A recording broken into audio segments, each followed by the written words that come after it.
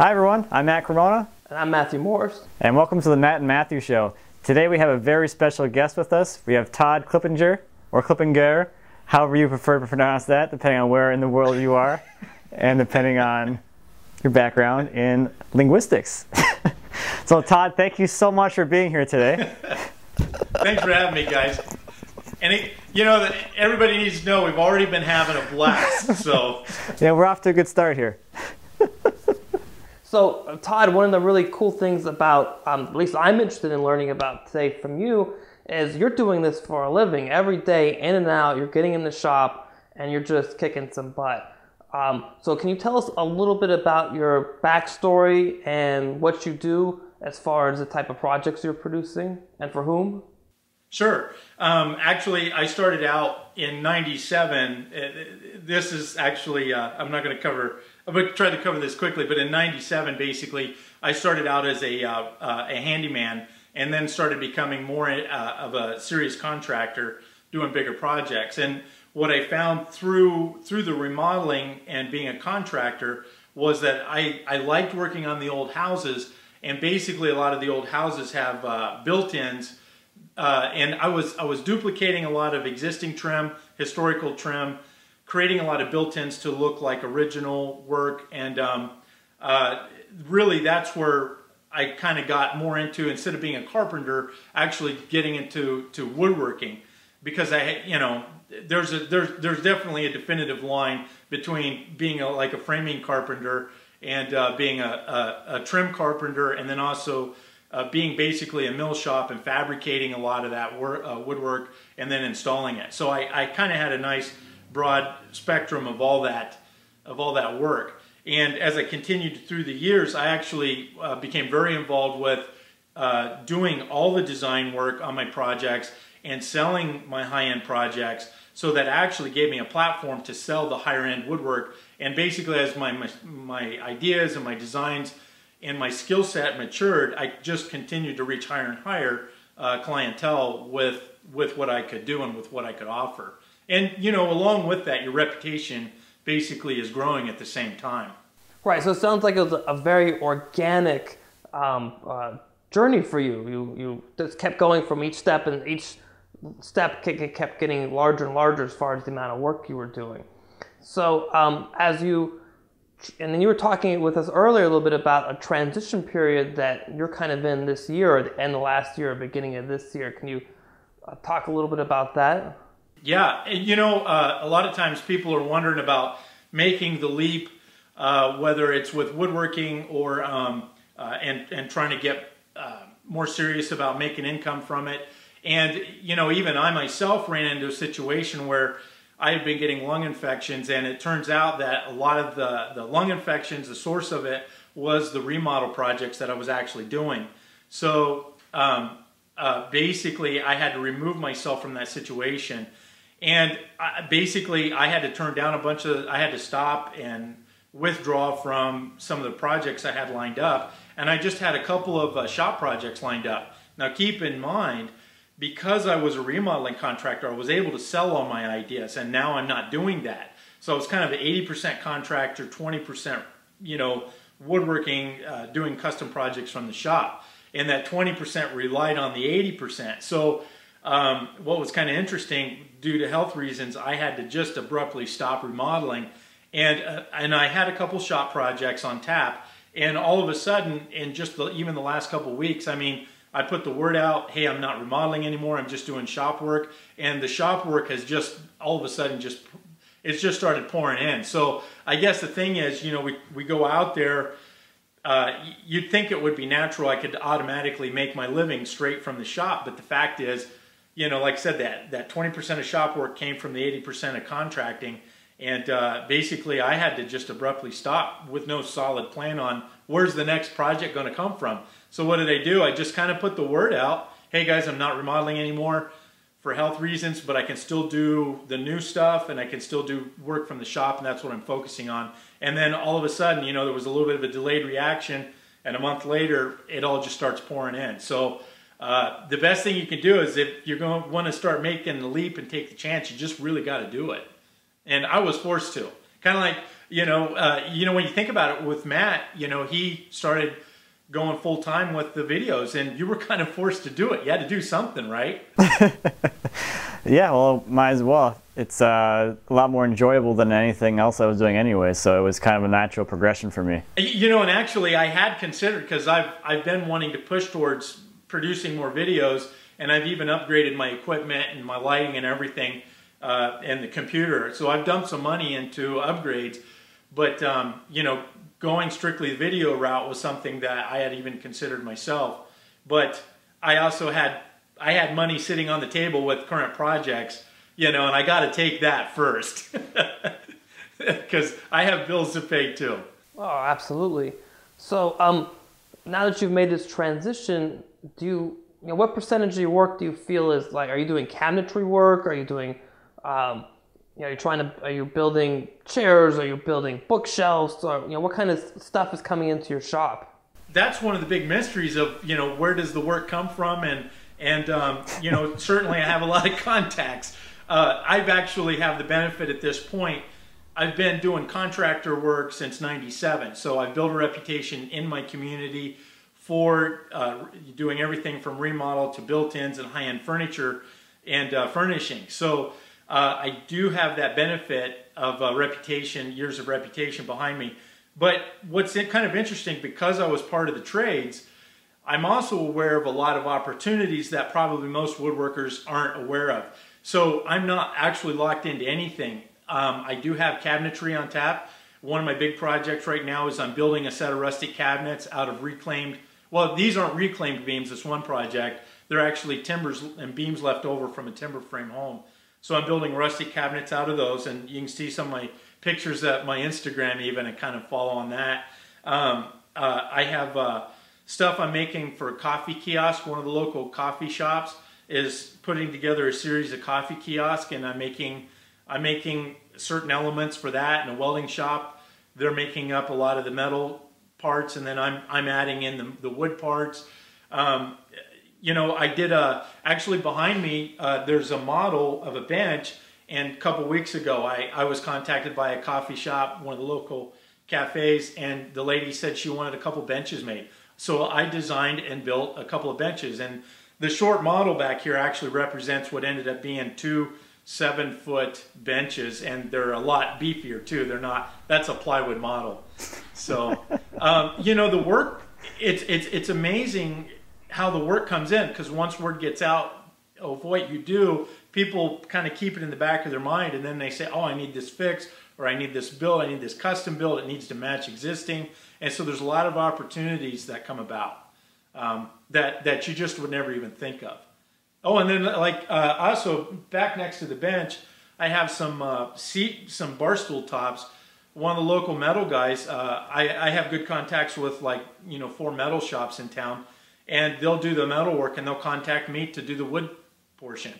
So, um, you know, it, it, it just kind of comes in from all over and it's a, it's a nice diverse range of work. So before I lose it, you had made a comment that you just said uh, a little earlier and, and was that um, you have a range of opportunities that or contacts or something that most other woodworkers uh, wouldn't have.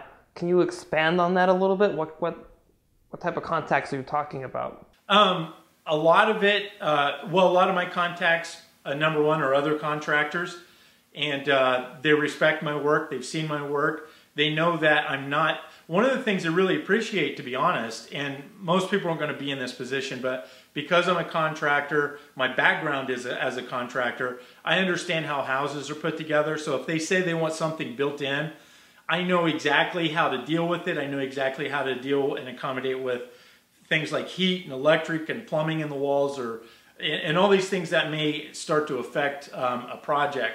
Um, typically, if you have a shop make that's just a cabinet shop make a project, all they think about is making the box to fit the hole. And there, there's you know, it's not that that isn't effective, but certainly you know it's in my favor that I know more than just how to put the box in the hole. So um, basically, as far as contacts, it's other contractors, it's past clients that just want stuff built in. It's um, the metal guys in town.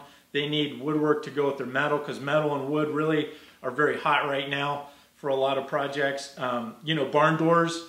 I, you know, I can still do trim work. I, I mill trim work packages uh, for some other guys, and then can install them. I can stain them, finish them, all this stuff on a professional level. And then a lot of the stuff that actually just has come through in the last couple weeks was from architectural firms that adjusted what they were doing, and they were looking for a small shop that was a little more focused on specialty items than the cabinet shops were.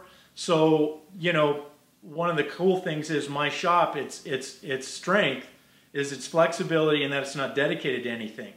Its weakness is that it's not dedicated to anything. So I I can't compete against I can't compete against the cabinet shops.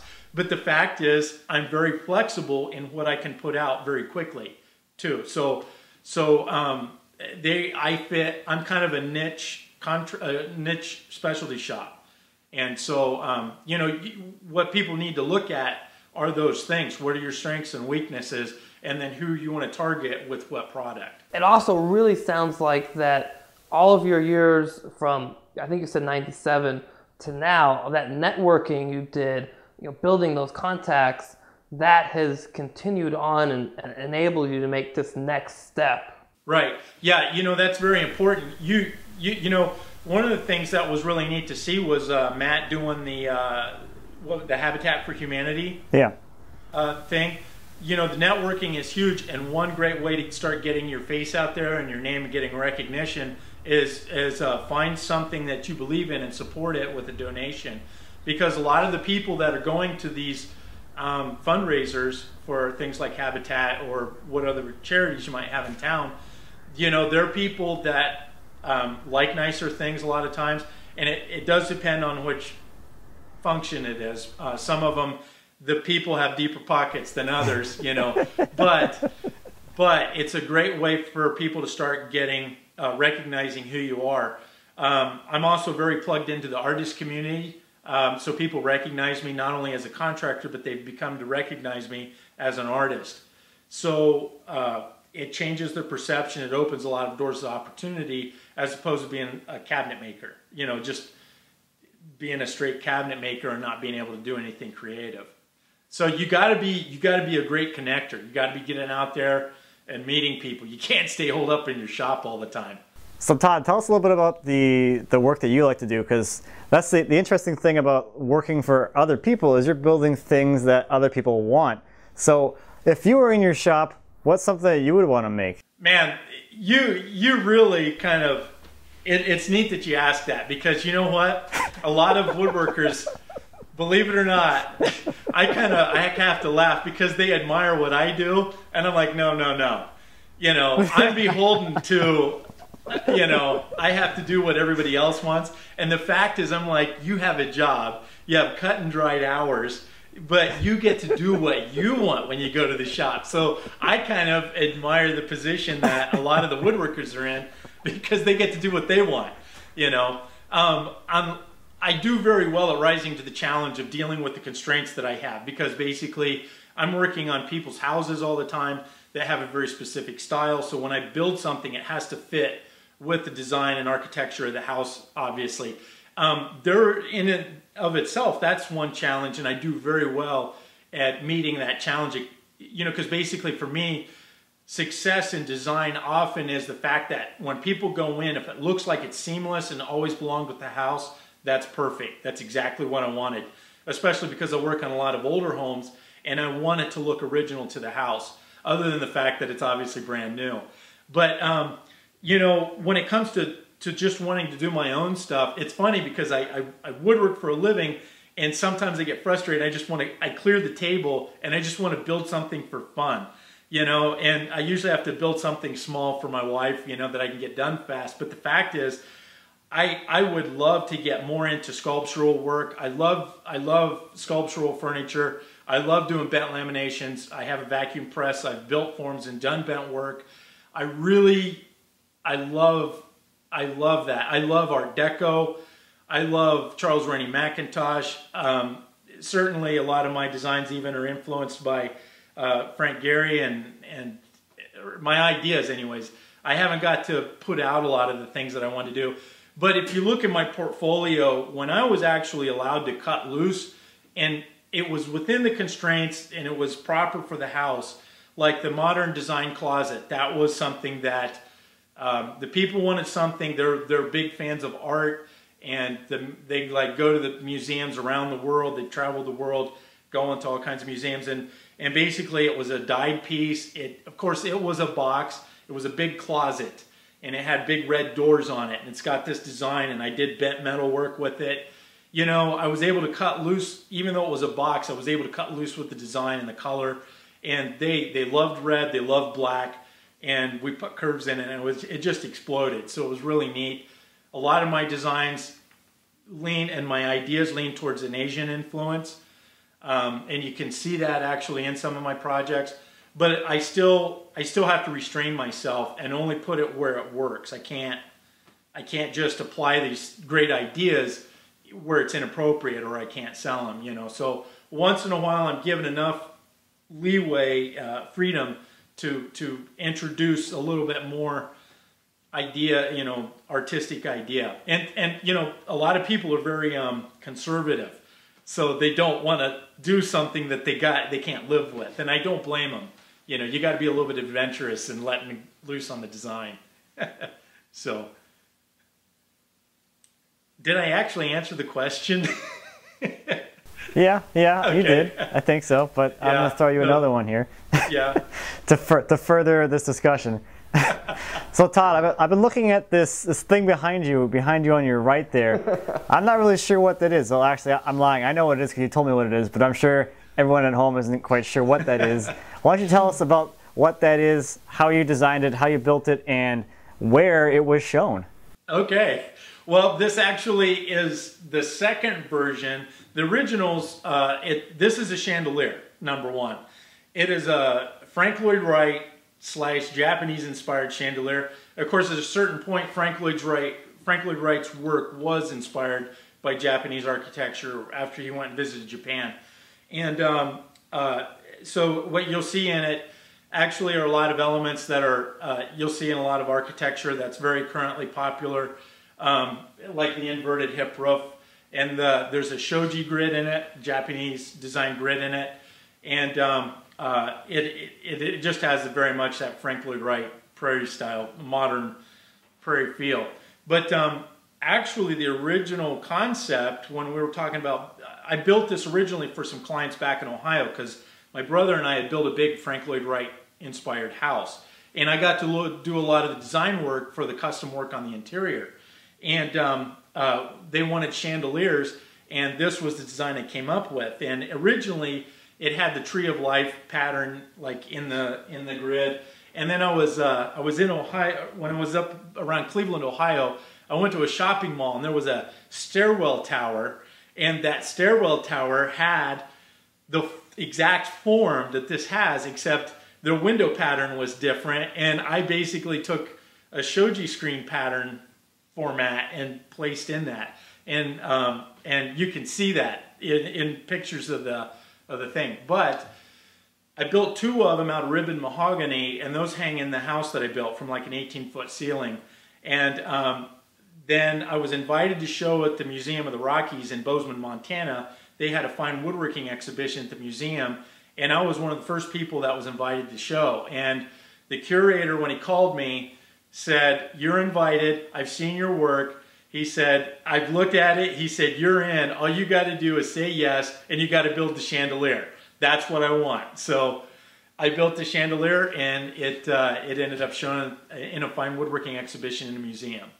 So I was very excited about that. And actually, I didn't even, I thought it was a joke because I didn't even put in, usually you put in for shows and you get juried in. And this guy calls me out of the blue and says, You're in. And I'm like, who is this? Really? who who pulled? Who's you know? So I thought it was a joke, but totally legit. So yeah. So chandelier showed at the Museum of the Rockies. You know what was really cool about that too? You know there was there was like two dozen of us that showed, and six of the people, six of the people I knew of and had admired for years had admired their work. And even though they didn't know me personally, well, two of them I've got to become friends with over time. So also when they asked if I had any recommendations, I recommended these other guys. They all got in, of course on their own merit anyways. Um, but I got to stand shoulder to shoulder with all these people that I admired over the years. And it was neat to be able to say thanks for the influence that they had on me, even though I've never worked with them, but they were just kind to me whenever I talked to them about woodworking. And they inspired me. And then I got to show with them in a museum. And, and it was really neat because you hit that point where you're standing there and it's like, I have arrived. I mean, you know, it's big stuff. all these people that I was like, ah, you know, over the years, and then I'm I'm standing there, my my stuff's in the museum exhibition with theirs, and uh, you know, it was neat to see that they also, even though they maybe had seen some of my work, I'd send them an email picture or something, but to see the work in person is always, you know, different, and it was neat that they felt like too they never wasted their time with me. That's awesome. Not, not a lot of people have like had that experience or probably will, to be honest. So that's that's really cool. Well, you know the thing is too you, to get there, you just got to keep pushing it. and You got to keep challenging yourself. I mean, neither one of you guys, when you look at, I think what really captivated me. I don't, I can't, I just don't have time to follow a lot of people. But you know, Matt, your work captivated me because I, I mean, when I cruise once in a while, I get time to check a bunch of people out. I mean, you're building. This once in a while. Yeah, you're, you know, the secretary you're building, I was like, wow, this guy's ambitious, you know? And I started following yours, and then I love Greene and Greene, and I just haven't had time to make any. And I saw your stuff, Matthew, and I was really impressed with it. So then, Thank you. Then you guys hooked up, and I was like, hey, there's a marriage made in heaven. They're doing a video together. so you guys are legit, and I, I think that's cool. You know, you guys do oh, nice oh, work. You heard it here. So- You're legit. Yeah. Keep- well, keep we, watching. well, we appreciate those comments and too, Todd. Thank you very much. And I, you know, I, I so But but the point is, you know, you guys you guys didn't get where you're at without pushing, taking risk and pushing yourself. It, it's it's a lot of hard work, and that's really the the secret to it all. speaking about hard work, um, so maybe it's I think it's a lot of question a question a lot of people have, which is so you're doing this for a living. How do you charge? Are you charging by the hour? Are you charging what you think a piece is worth? Are you just saying everything's a million dollars and hope someone's going to write the check? Yeah, you know, that's probably one of the biggest challenges is is uh, is how to charge for your work, and really what it comes down to is it was always easy for me to figure out how to charge on um, projects as a contractor, and then what I realized, you know what? It doesn't matter if I'm building whirly gigs for somebody's yard or if I'm building a chandelier for the museum. The simple fact is I have an hourly rate that I have to charge based on real business costs. So once I got over, should I charge as an artist?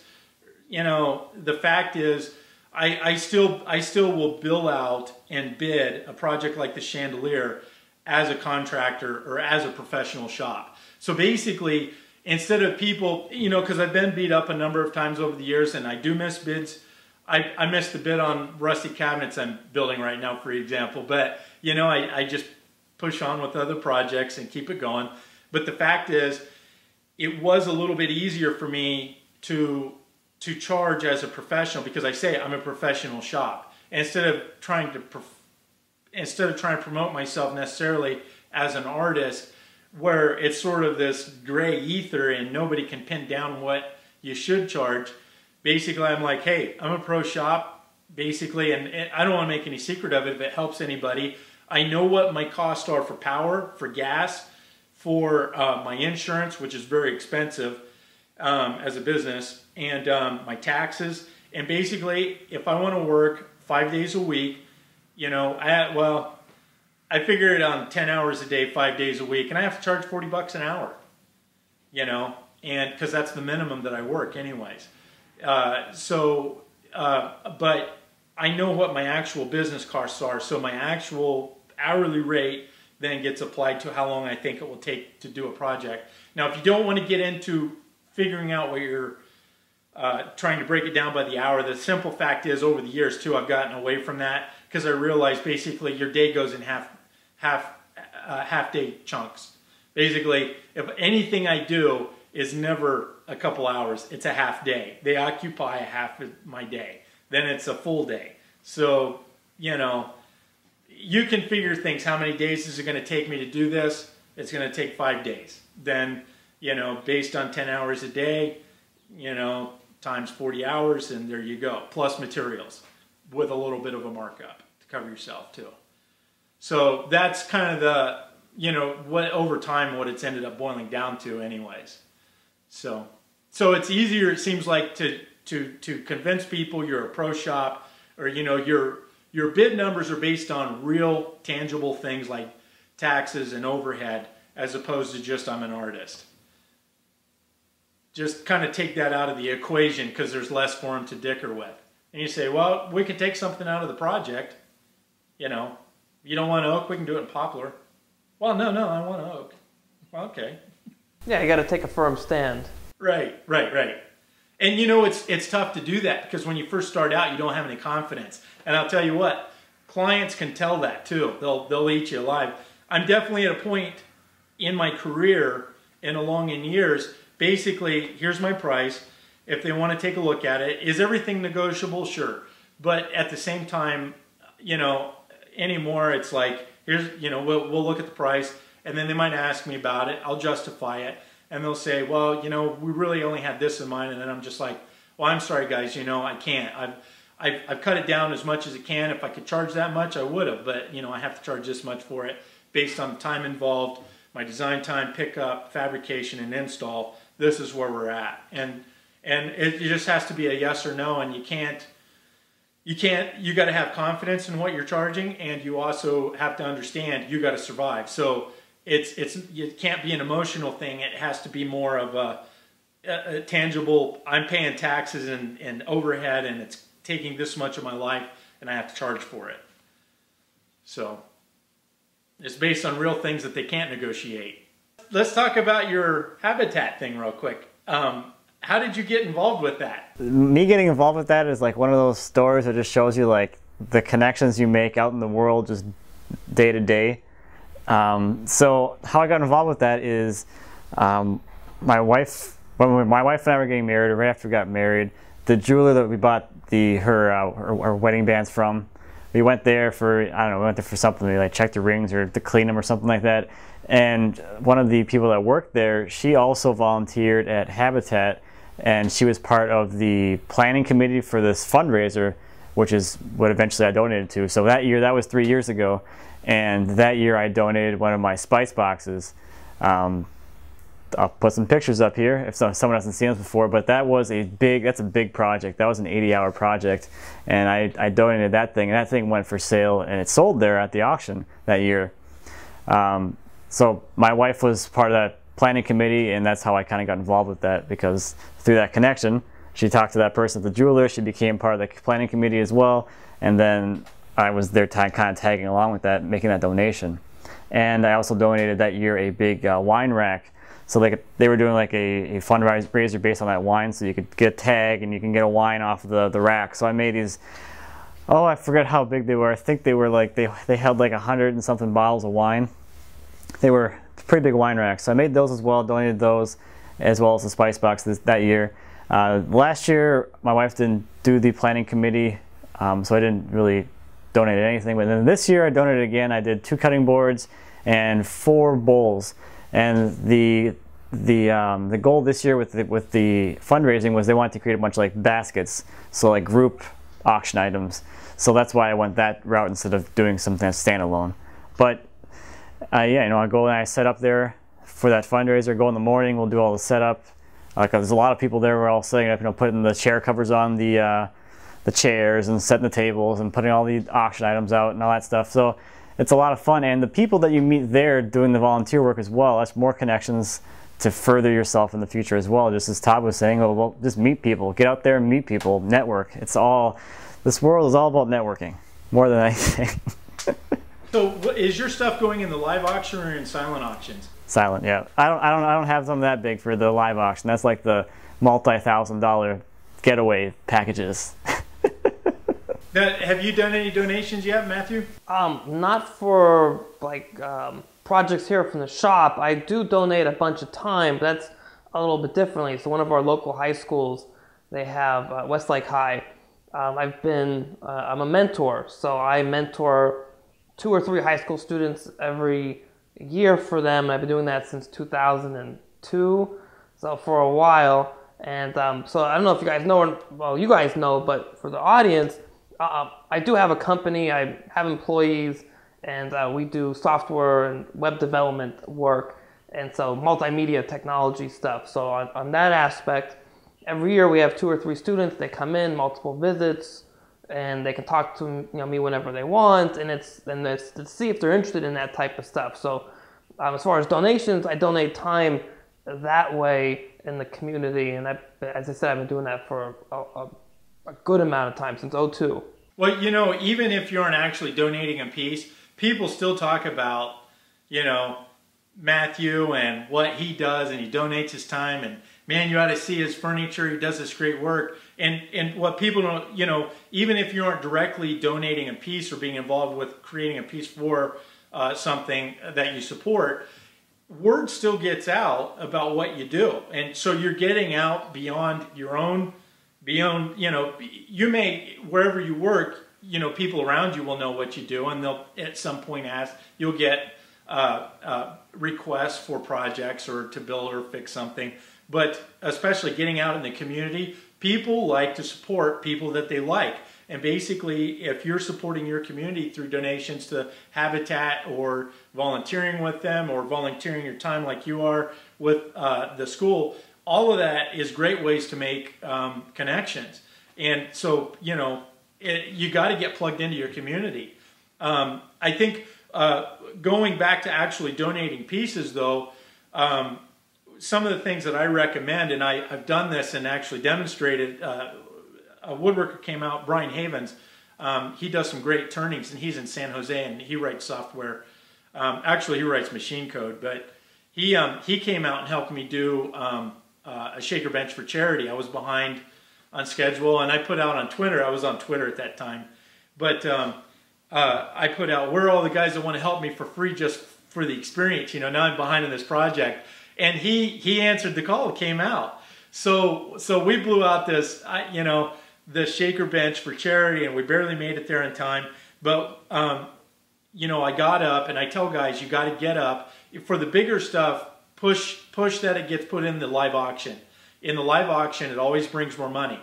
But what I do is I do a full donation. I don't take any money back because a lot of times artists will take money. They'll, you know, if it sells for two thousand, they get five hundred or a thousand. They take fifty percent or twenty five percent, and I don't do that. I donate Number one, I pick a cause that I believe in. Number two, I do a full donation. But typically, what I'll do is I'll I'll I'll, I'll get um, I'll get um, dinner for my wife and I for free. So you know, if, if tickets are thirty or fifty bucks, we get in for free, and my my project has to go in the live auction, and I have to stand up. I tell them when it comes up, you you have to let me talk. So eh, I get up in front of all these people that I don't know, and I have to say, I, yeah, I, I say, you know, I believe in this cause and I could, I, it would be easier for me to write a check, but I believe in the power of what, you know, that I was given these gifts and this talent and then I'm using it to support my community and I will support my community before I support, there are a lot of great things you can support around the world, but I'm going to support my community first and I want to give my best, offer my best to the community. And basically they see that you're genuinely you know, supporting you, believe in what you're doing, and then it plug it it pastes your face on that project too. And you can't just go one year. You got to go a year, a second year, and a third year, and you'll see you start gaining a reputation, and they start looking for you, and the value of your products start going up, and and then you know. Uh, once in a while you'll be somewhere and people say, oh, you, you know, in the store, you're at Target or the grocery store, oh, you donated that piece to the thing. Or, you know, I got good newspaper coverage on when the guy came out from California and, you know, we were, I would, I'd be walking around people, I saw you in the paper. You did that thing for the charity and it, it brought in more than anything else. I mean, you know, because of all the exposure we got and it, it brought in a lot of money and it did really well. So, you know, the thing is, donate to what you believe in, push it as much as you can, get your face attached to it as much as possible. Um, for smaller stuff going in the in the silent auction, not always possible, but also sometimes you can get up and and kind of make an announcement. Hey guys, you know my name's Todd Clippinger. Make sure you hit the silent auction and check out my basket. We got a lot of great things. Check out, you know my I got some bulls over there. Be sure to bid on them. basically just just here I am. That's what I do, and I'm here supporting the place and donating my time. You know, with you know moving stuff at the auction or cleaning up or whatever, and people will start recognizing that. So you got to promote yourself a little bit. You know, take advantage of that opportunity. And it's stuff I really do. I don't, you know, I'm not just preaching it. So Todd, we're really interested in hearing your, your opinions and your, your viewpoints about the, the, shop in general. I mean, for most woodworkers and people out there that are just kind of doing this as a hobby, the shop is kind of a getaway place.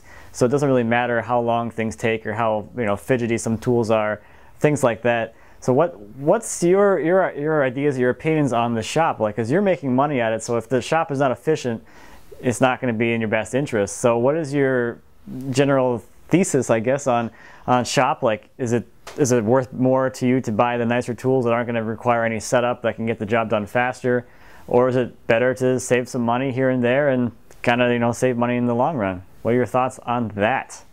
Well, uh, certainly my thoughts are skewed towards uh, as a professional. I have a little bit different um, parameters in which I have to make my decision, and and you know, I understand what a budget is. I still have a budget. It's not a free for all, get to buy whatever I want. Um, because basically, whatever I spend tool money on tools, basically that can't go into retirement. Um, of course, I get to deduct that, but the fact is, I don't get to. That's money I don't get to put in retirement to set aside for a rainy day, to take vacation on, or anything else. So uh, it's not. It's definitely not a, a, a free for all for me to get to buy tools. Um, I'm very judicious about the tools that I buy. I make sure that I'm going to use them. And when I first started out, I did buy cheaper tools. I actually started out with, with a lot of craftsman tools, and they did not last. I think most of them were dead by a year and a half as a professional. And I, I'm actually take really good care of my tools. Um, it was largely the way I was, uh, you know, when I was in the military, you take care of your equipment because your life depends on it ultimately someday. And basically, I'm very good at maintaining my equipment, and I use it. I use it, but I use it properly, and I do good maintenance. So I care very well for my tools. It probably doesn't get any better than than with the way I treat my stuff. But I found out good tools are well worth the money. And man, it pinches up front. I'm not kidding you to buy some better tools. But I have never regretted a, a nice tool purchase. And you know, I I've been building, you know, a little Festool collection and of course those seem to be sort of the high bar mark but uh, uh, they don't they're not the only ones that make good tools. I've got quite a mix of dewalt porter cable uh, makita um, bosch festool jet hitachi. And you know what? No single tool company makes the best of everything. I typically buy based on what specific features that a tool has. And so um, i'm willing to take the extra pinch up front and buy a better tool. I also like buying new tools because I like having the warranty because typically if it's going to break down, it will break down in the warranty period. And, um, and I'm willing to buy name brand tools because basically every tool company and every tool manufacturer is going to have its percentage of defective tools. What I'm doing is with name brand tools, typically that percentage is a little bit lower than if, let's say, you're buying at Harbor Freight. And so I'm just sort of hedging the bet that I want this the statistics stacked in my favor that the tool's going to be reliable year after year, day after day, and you know the tools that I buy are worth repairing actually as opposed to replacing. So um, that's kind of where I go with my decision on tools. And and I've had to build up my tools too. I mean, I started out with a small. I've gone through three joiners. I just wish I'd bought the big one to begin with. But you know what? I couldn't I couldn't afford it. You know, I couldn't afford it at the time either. So, um, and you know, at a certain point, I've I've had to upgrade my table saw a few times. I wished I could have bought the big one to begin with, but once again, I couldn't afford it either. So, um, I have the same struggles that that most hobby woodworkers do. I still have a budget, but I also have to think I got to make my living from this. So I actually take the extra pinch and spend the extra money up front and as much as I can now that that I've kind of got the momentum going. And you find that pays dividends in the future for you. Yes. Yes, my my tools have done well at earning their keep as a professional, certainly. You know, and, the thing is, good tools aren't just about, lo- you know, people think, well, it's uh, like, I bought a Festool Kapex after all these years. Well, I had this opinion, you know, I've got a Festool track saw and I've got the Domino and I've got the Planer. And I'm like, those are really sweet tools. They're really exceptional tools for what they are. But I'm like, come on, you know, I've got a Hitachi slider that I just love. I don't know that these were actually designed for human ears because they don't stay in. Apple. So, anyways, I have a Hitachi slider. I've been using it for 10 years, and man, it is a dream. It's so accurate. And, um, you know, I was like, wow, the Kapex, and, and I get furniture grid cuts out of it day after day, year after year. And um, uh, um, the Kapex, I couldn't, I was like, man, it's, you know, it's $1,400. It, it's just overpriced luxury saw. I used one on a job. When actually, when I was out in California, I started using uh, uh, Brian Brian Haven's saw, and and I couldn't believe how accurate it was, and how when I was doing the trim job, how fast I could flip between all the bevels, and how accurate it was, and the dust collection. With me being a remodeling contractor, dust collection's huge, and once I started using it, it sold itself. So I guess the point out of that is, as an example for the Kapex, it's really not just an overpriced luxury saw. It actually has features that make me money as a professional. Now, are those features worth it for the hobbyist? Probably not. You know, it, there were things that I very specifically need for what I do. However, um, good tools typically higher priced tools have features that will enhance your performance and your production, and that's where the payoff is in the reliability. Did you anything else you want to talk about today, Todd? Anything that you're interested in, or what questions you want? Questions you wanted Yeah. for us, or No, I guess uh, I really, I really actually enjoy seeing you guys uh, participate in the woodworking community. I think you inject a lot of great personality and um, inspiration. So you know, it's there's sort of this at times this conversation woodworking's dying. Fact is, it's not, and it's it's due to people like you being active in the community. I, I personally have hope to get more active again. I, I there was a time I was more active, but you know um, my business consumes so much of my time, and uh, I hope to get more stuff out in the future. But um, you know, guys, keep at it, and also to everybody else that's watching, the best way to propel yourself forward in the craft is to go out, keep doing it, and just keep challenging yourself. You guys, you guys are great examples of that, and um, of of challenging yourself and advancing in your skills in the craft. So that's the real secret to woodworking is to get out in the shop and just do it. thank you, Todd. Um, speaking about Yeah, thanks. yeah, sp- speaking about um, o- online woodworking community, where can everybody find you? What's what's the best place to find your content, your articles, your videos?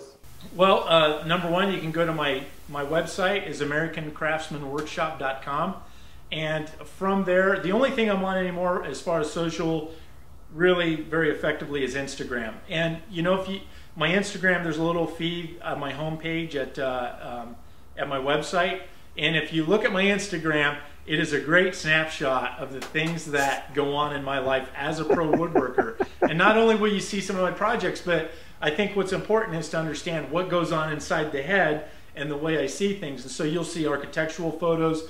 You might even see some. Uh, you're going to see a.